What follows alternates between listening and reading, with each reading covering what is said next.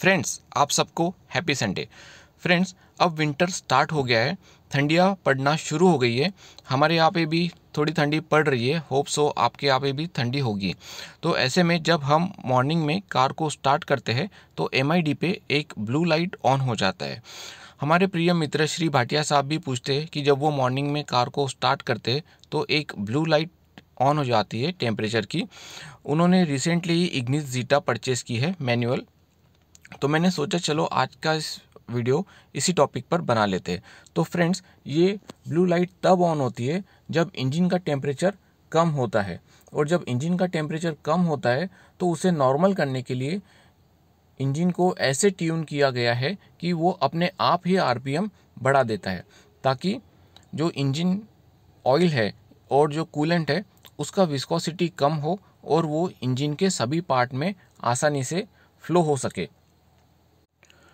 और इसी प्रोसेस को कोल्ड स्टार्ट भी कहते हैं, जो कि विंटर में यूज़ होता है।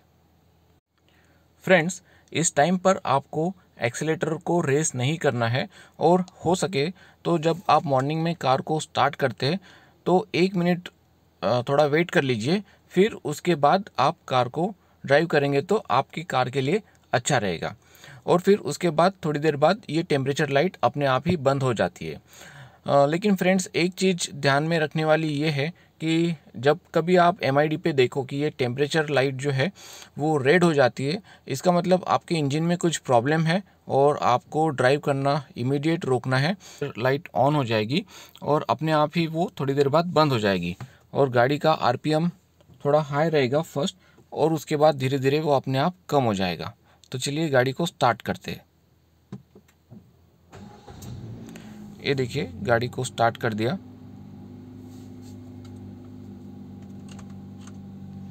अब ये देखिए, ये है वो टेम्परेचर लाइट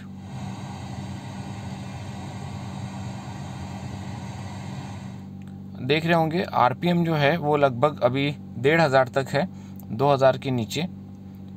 ये गाड़ी अपने आप ही रेस हो रही है। तो इंजन को इस तरीके से ट्यून करते हैं कि जब इंजन का टेम्परेचर थोड़ा कम होता है तो उसको ऑप्टिमम या नॉर्मल लेवल तक लाने के लिए गाड़ी अपने आप ही आरपीएम बढ़ा देती है और थोड़ी देर बाद वो अपने आप कम हो जाएगा। थोड़ा सा आरपीएम कम होने लगा है, आवाज़ भी थोड़ा कम हुआ इंजन का।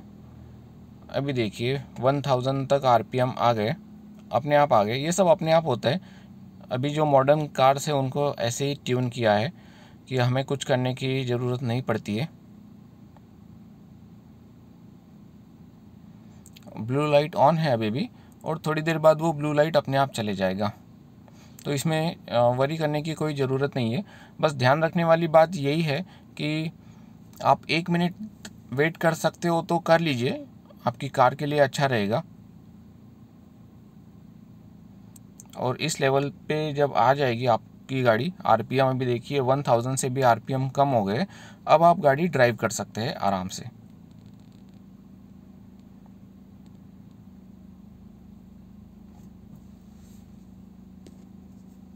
ये देखिए, अभी ब्लू लाइट चली गई है फ्रेंड्स। इसका मतलब अब गाड़ी का टेम्परेचर नॉर्मल हो गया है और गाड़ी के सभी पार्ट्स जो है, इंजन वगैरह है, उसमें आसानी से इंजन ऑयल फ्लो हो सकता है। फ्रेंड्स आपका वीडियो देखने के लिए थैंक यू